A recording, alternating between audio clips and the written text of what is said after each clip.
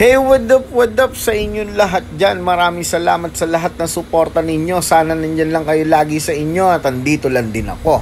So, ayun, bibira tayo ngayon ng dinuguan. Say what's up? Ayan na nga pala. Binuksan ko na ang ating mahiwagang ngalan.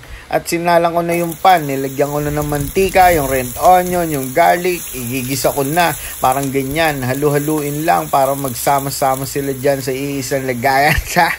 Tapos nilagay ko na yung pepper. Tapos sinalang ko na rin yung pork natin. Manipis lang ang pagkakahiwa kasi dinuguan ng bibirahin natin ngayon ha.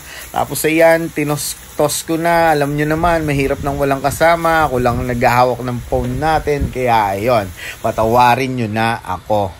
So, yun, naglagay na rin tayo ng daon ng laurel, tinakpan, pinalambot, at ayan, nagmumoist na naman siya.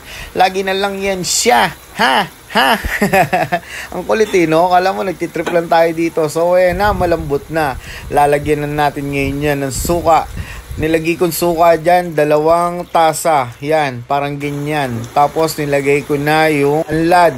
So ayan, nakita nyo, nagpalit tayo ng pan. Hindi kasi kakasya. Pag hinalo pa natin yung dugo, medyo masela ng labanan dyan dahil mapal- mapapalaban tayo ng haluan. Ayan ang sabi ni Mami, huwag tigilan sa kakahalo dahil daw mamumuo yung ating dugo. Dugo dugo ng baboy.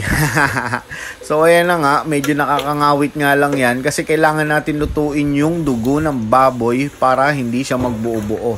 Pag kumulo na siya, maya-maya, pwede nyo nang tigilan at tikman nyo na. Pwede kayong maglagay ng Ajinomoto, pwede kayong maglagay ng pork cubes, bahala na kayo sa buhay nyo kung anong gusto nyo, basta dapat ganyan ang kalalabasan. Enjoy!